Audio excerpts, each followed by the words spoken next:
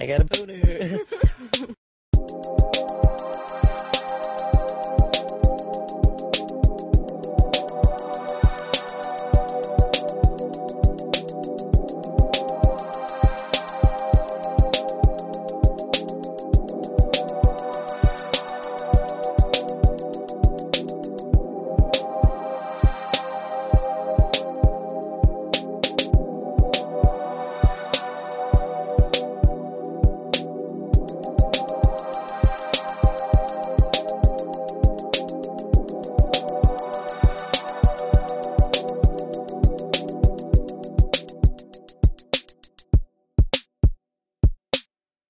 How you doing, buddy?